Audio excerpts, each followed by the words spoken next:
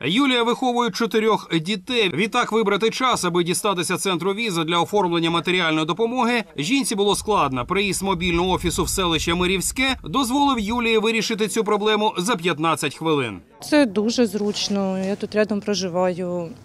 Не потрібно час витрачати на дорогу. Прийшов, все подав документи і часу менше. Артур переселенець з Донецької області. Прийшов до мобільного офісу разом з сестрою, аби підтримати її. Було багато питань, але тепер є розуміння, що робити далі, говорить чоловік. Тут дуже очень хорошо, спасибо за все.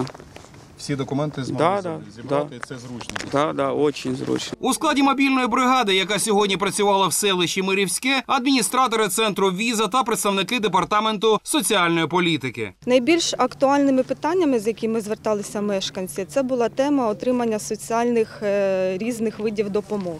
Також звертались за допомогою в оформленні е, біометричних паспортів у формі ID-картки, закордонного паспорта, подання повідомлення про пошкоджене та зруйноване майно, оскільки тут більшість населення це внутрішньо переміщені особи, е, присвоєння статусу дитині війни.